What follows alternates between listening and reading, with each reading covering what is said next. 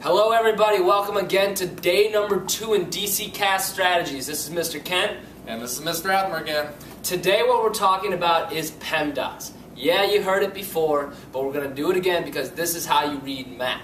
All right? Wait a minute, read math. Read math. This is how you read math. Just like in English class, when you read from left to right, you capitalize the first letter in every sentence, and you add a question mark after question is. We got a way to read math, and that's called PEMDAS. Okay? PEMDAS is called the order of operations. We got our parentheses, exponents, multiplication and division together, and then addition and subtraction together. We're going to hit all of those today, and we're going to apply our knowledge to kick some butt. Awesome. So the first thing we have in PEMDAS is the parentheses. Ooh, ooh, ooh. The first thing we have to do in anything math related is we got to deal with the parentheses first. So here's an example problem. I have 3 plus 7, and they're both in parentheses. Remember how Mr. Bear and I were in parentheses? Remember how Mr. Kent and I were in parentheses? We got to take care of what's in the parentheses first. So in this case, it's 3 plus 7. It's very simple calculation. It's 10. And then we're left with that times 2 on the outside. Now we can actually multiply 10 times 2, which is 20.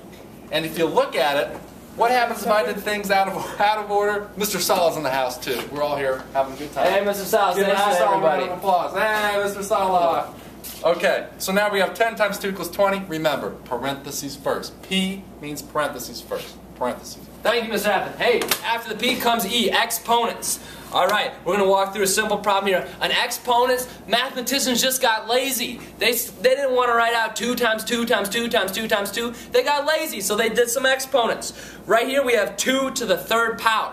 Really what that means is 2 times 2 times 2 again. And these are all in our nice, cute little parentheses here. 2 times 2 is 4, times another 2 is 8.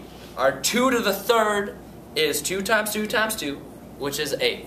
Awesome. And then we got the MD part of the PEMDAS. This is multiplication and division. And Mr. Kent talked about reading from left to right in English class. Well, in math, we also read left to right with multiplication and division. So, for instance, we have a question that says 3 times 5 divided by 3. We read left to right. What comes first? This multiplication problem. So 3 times 5 is 15. Let's rewrite the divided by 3. And now we can take care of the rest. So 15 divided by 3 equals 5. So there's our MD part of the PEMDAS. Multiplication, division. Remember, left to right. Whatever comes first. If multiplication comes first, do the multiplication. If the division comes first, do the division. So that's what we got here. Next up, Mr. Kent's got the next step. Our last and final thing, addition and subtraction. So just like multiplication goes together from left to right, as does addition and subtraction. So let's say we have 3 plus 5 minus a negative 2. All right? We read from left to right. So 3 plus 5 is 8. So this is equal to 8 minus a negative 2. Well, when we subtract a negative, those minus signs combine together to turn to a positive. So this turns to 8 plus 2. 8 plus 2 is 10. And that is our final answer there. So we've talked about parentheses, exponents, multiplication and division, and addition and subtraction. All going from left to right. Mr. Athmer, what's the problem we're going to work through today? All right, we got the challenge problem today that I'm going to do. And we just told you a lot of information. But don't worry, you've learned this before. So we're just going to take it a step further and put it all together. So now we have this expression right here. We're going to try to simplify it down to its smallest components. We have 3 minus the quantity of 2 plus 1 minus 4 squared plus 4 times the quantity of 4 plus 1. Whew, that was a mouthful. Woo! Let's go step by step. The first step is parentheses. What do you see in parentheses? I see the 2 1.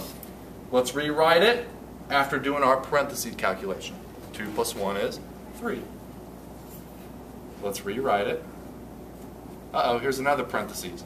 4 plus 1 is 5. So 4 times 5. All right, we're working it out. We're working it out. All right, what's next, Mr. Kent? We got to do the what? Exponents. The exponents. The exponents. Do I see exponents? I do right here. So let's do that and rewrite everything else. Let's keep the 3 there. Keep the 3 there.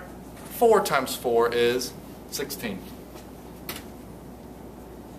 All right. We're working it. We're working it. We're seeing it. So now we're just left with some subtraction, addition, and multiplication. PEMDAS, what's next? Multiplication and division, right? From So left to right. From left to right. Uh-oh, I don't see anything yet. Don't see anything yet. Don't see anything yet. At the end I do. So let's rewrite everything else. And Mr. Ken, I might need a new board here. I got you. What's 4 times 5? 20. You're learning this on the Khan Academy, right? All right, so there, that's where we're at now. Look at this. Look at this. Teamwork. Teamwork. We're all about team in this, in this class, so Mr. Kent's, Mr. Kent's helping us out. So now we're just left with subtraction and addition.